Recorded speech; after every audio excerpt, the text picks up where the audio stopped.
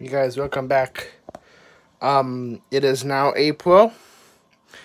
Uh, i'll be uh making more videos.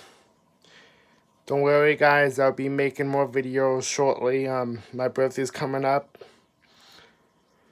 My mom just got into a bad car accident not that long ago so i'm dealing with that.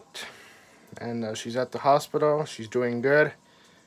Um sorry it's been so long. Um it's it's never this long to upload a video but i've I, I got so much stuff going on.